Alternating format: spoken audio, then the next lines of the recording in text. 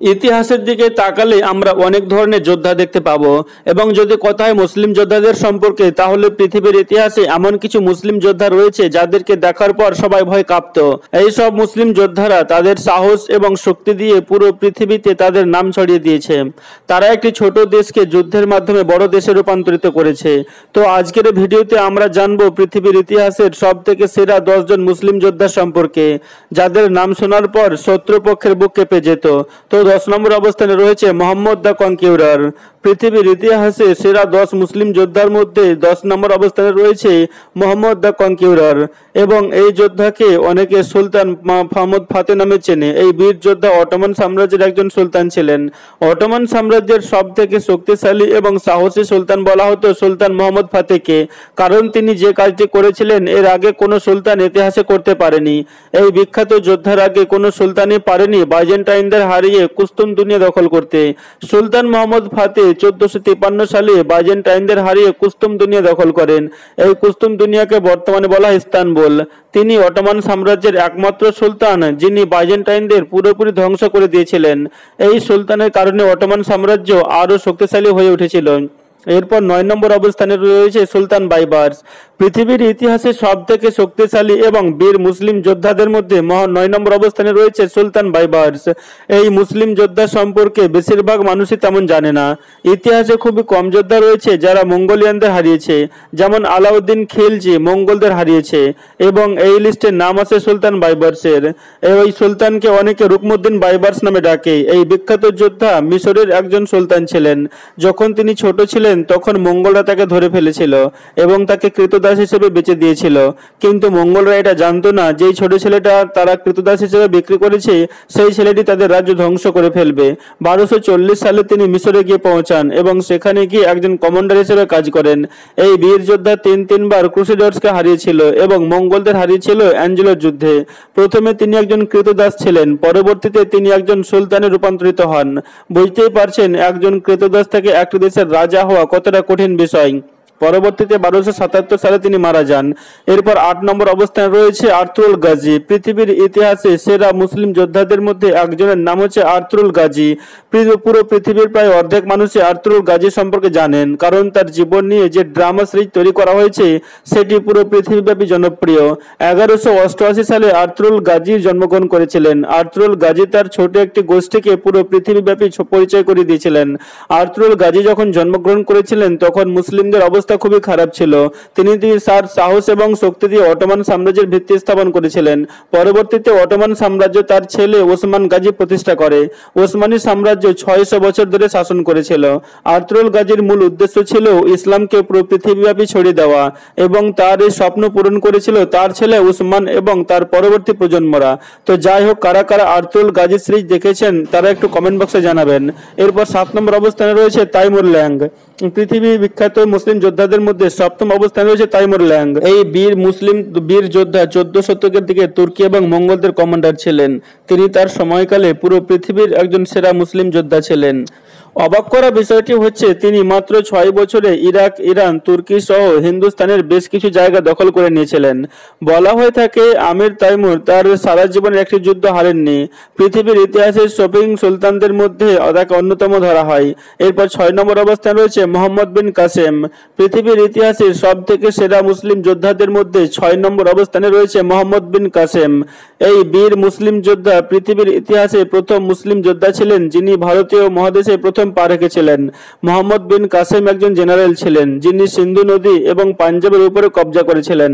সিন্ধু রাজ্যের সর্বশেষ রাজা ডায়েরকে হারিয়ে মোহাম্মদ বিন কাসেম সিন্ধু জয় করেছিলেন। মোহাম্মদ বিন কাসেমকে শুধুমাত্র ইসলামের ইতিহাসেই নয়, পুরো পৃথিবীর ইতিহাসে অন্যতম সেরা একজন জেনারেল হিসেবে বলা হয়ে থাকে। এরপর পাঁচ নম্বর অবস্থানে রয়েছে হারুরান রাশিদ। পৃথিবীর ইতিহাসে সেরা মুসলিম যোদ্ধাদের লিস্টে পঞ্চম অবস্থান রয়েছে হারুন আল রাশিদ হারুন আল রাশিদ সাতশো ছিয়াশি সালে সালে আব্বাসী খিলাফতের সুলতান ছিলেন। তিনি তার সময়কালে সব থেকে সেরা যোদ্ধাদের মধ্যে একজন ছিলেন। যখন হারুন আল রাশিদ তার রাজ্য ক্ষমতায় ছিলেন, তখন ইসলামের একটি সুসময় চলছিল। তার বিশাল বড় রাজ্য ছিল। তার রাজ্যের সীমানা ছিল মরক্কো থেকে ইন্ডিয়া পর্যন্ত। তিনি সাতশো খ্রিস্টাব্দ থেকে আটশো খ্রিস্টাব্দের মধ্যে বাইজেন্টাইনদের হারিয়েছিলেন। তার শাসনকালে পুরো পৃথিবীর মানুষ জানতে পেরেছিলেন যে ইসলাম কাকে বলে আর ইসলামী খেলাফত কাকে বলে। ইতিহাসে যত সেরা মুসলিম লিডার রয়েছে, তাদের মধ্যে সেরা একজন হচ্ছেন ইনি। এরপর চার নম্বর অবস্থান রয়েছে তারিক বিন জিয়াদ। পৃথিবীর ইতিহাসে সেরা দশ মুসলিম যোদ্ধার লিস্টে চতুর্থ অবস্থানে রয়েছে তারিক বিন জিয়াদ। তিনি এমন একজন মুসলিম কমান্ডার ছিলেন যিনি পুরো স্পেনকে দখল করে নিয়েছিলেন। তিনি তার সময় একজন সেরা জেনারেল ছিলেন। তার যুদ্ধের কৌশল ছিল অসাধারণ। শত্রুপক্ষ তার নাম শুনলে পিছু পা হতে বাধ্য হতো। তারিক বিন জিয়াদ সাতশো বারো সালে একটি বিশাল বড় যুদ্ধ করেছিল এবং তার বিপক্ষে ছিল ভিজিগুল সেনারা এবং তাদের সৈন্য ছিল তারেক বিন জিয়াদের সৈন্যের থেকে তিন গুণ বেশি। কিন্তু তারপরও তারেক বিন জিয়াদ তার অসাধারণ যুদ্ধের কৌশল এবং সাহস দিয়ে ভিজিগোত সেনাদের হারিয়ে দিয়েছিলেন।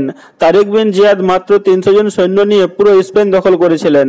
তারেক বিন জিয়াদ যে রাজ্য প্রতিষ্ঠা করেছিল, সেই রাজ্য বারো সাত পর্যন্ত টিকে ছিল। এরপর তিন নম্বর অবস্থানে রয়েছে সালাউদ্দিন আইয়ুবি। পৃথিবীর ইতিহাসে সেরা দশ মুসলিম যোদ্ধার লিস্টে তৃতীয় অবস্থানে রয়েছে সালাউদ্দিন আইয়ুবি। পুরো পৃথিবী সালাউদ্দিন আইয়ুবিকে একজন বীর যোদ্ধা হিসেবে চেনে।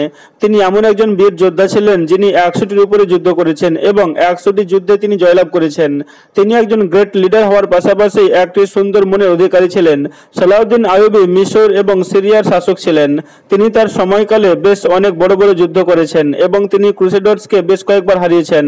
এমনকি তিনি জেরুজালেমও দখল করেছিলেন। তিনি জেরুজালেম দখল করার পর সেখানে যে খ্রিস্টানরা ছিলেন, তাদের উপর তিনি কোনো অত্যাচার করেননি, বরঞ্চ তিনি খ্রিস্টানদের বলেছিলেন, তোমরা তোমাদের মতো জীবনযাপন করো। তিনি যুদ্ধে যে ধন সম্পদ অর্জন করেছিলেন, তিনি ব্যয় করেছিলেন স্কুল মাদ্রাসা এবং মসজিদ তৈরি করতে। এরপর দুই নম্বর অবস্থানে রয়েছে হজরত খালিদ বিন ওয়ালিদ। পৃথিবীর ইতিহাসে সেরা দশ মুসলিম যোদ্ধাদের লিস্টে দ্বিতীয় অবস্থানে রয়েছেন শত্রুদের হৃদয় কাঁপানো খালিদ বিন ওয়ালিদ। খালিদ বিন ওয়ালিদ এমনই একজন যোদ্ধা ছিলেন, যিনি তার সারা জীবন শুধুমাত্র যুদ্ধ করে গিয়েছেন এবং তিনি তার সারা জীবনে একটি যুদ্ধ পরাজিত হন আপনি কোন যোদ্ধার নাম শোনেন কি না শোনেন? খালিদ বিন ওয়ালিদের নাম অবশ্যই শুনে থাকবেন। শুধুমাত্র মুসলিম যোদ্ধাই নয়, পৃথিবীতে যতবার যোদ্ধাদের লিস্ট করা হবে, সেই লিস্টে সবার উপরের দিকে থাকবে খালিদ বিন ওয়ালিদ। বর্তমানে বিভিন্ন দেশের সেনা প্রধানরা খালিদ বিন ওয়ালিদের কৌশল অনুসরণ করে থাকেন। হজরত মোহাম্মদ সাল্লাহ আলহিসাল্লাম খালিদ বিন ওয়ালিদকে আল্লাহর তরবারি হিসেবে ঘোষণা দিয়েছিলেন। বলা হয়ে থাকে, একটি যুদ্ধে তিনি তার হাত দিয়ে নয়টি তলোয়ার ভেঙে ফেলেছিলেন এবং তার এমন সাহস দেখে শত্রু দল সারেন্ডার করতে দিয়েছিল। তার এত সাহস ছিল যে তিনি একবার শত্রুদের সামনে বিষ পান করে নিয়েছিলেন। কিন্তু বিষ পান করার পরও তার কিছু হয়নি। অবাক করা বিষয়টি হচ্ছে, অন্যান্য যোদ্ধাদের মতো খালেদ বিন ওয়ালিদ শহীদ হয়ে মারা যাননি। তিনি সাধারণ মানুষের মতো বিছানায় মারা গিয়েছিলেন। তিনি এমন একজন যোদ্ধা ছিলেন যিনি বাইজেন্টাইনদের রোমানদের এবং পারস্যদের সবাইকে হারিয়েছিলেন। তখনকার সময় খালেদ বিন ওয়ালিদ নাম শুনলে প্রত্যেকটি কমান্ডারের চোখ উপরের দিকে উঠে যেত। এক নম্বর অবস্থানে রয়েছে হজরত আলী রাজিয়াল্লাহ তাল আনহ। পুরো পৃথিবীর মানুষ জানে যে হজরত আলী রাজিয়াল্লাহ তাল আনহ কে ছিলেন। ইসলামের চতুর্থ খলিফা এবং হজরত মোহাম্মদ সাল্লাহ আলু সাল্লামের চাচাতো ভাই ছিলেন আলী। শুধুমাত্র চাচাতো ভাই ছিলেন না তিনি রাসুল সাল্লাহু আলহ্লামের জামাইও ছিলেন। হজরত আলীকে বলা হয় মুসলিম ইতিহাসের সব থেকে সেরা যোদ্ধা। কারণ খয়বার যুদ্ধে তিনি যেভাবে যুদ্ধ করেছিলেন তা সবাইকে অবাক করে দিয়েছিলেন। তাছাড়া প্রত্যেকটি যুদ্ধে রাসুল সাল্লাহ আলু সাল্লামের সাথ দিয়েছিলেন হজরত আলী রাজ্লাহ তালাহ খয়বরের যুদ্ধে একটি বিশাল প্রাসাদ ছিল এবং সেই প্রাসাদের গেটটি অনেক বড় ছিল। সেই গেটটি খুলতে চল্লিশ জনের প্রয়োজন হতো কিন্তু আলী রাজ্লাহ তালা আনহ সেটি একাই খুলেছিলেন। শুধুমাত্র একাই খুলেননি সেই দরজা শত্রুদের উপর ছুঁড়ে মেরেছিলেন।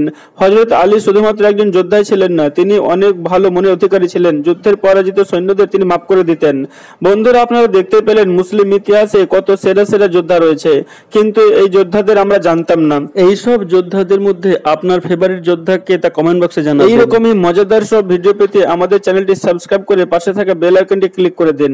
এবং আপনারা যতই ব্যস্ত থাকুন না কেন নামাজ পড়তে কিন্তু অবশ্যই ভুলবেন না কারণ নামাজ হচ্ছে জান্নাতের চাবি। ভালো থাকবেন নিজের খেয়াল রাখবেন। আল্লাহ হাফেজ।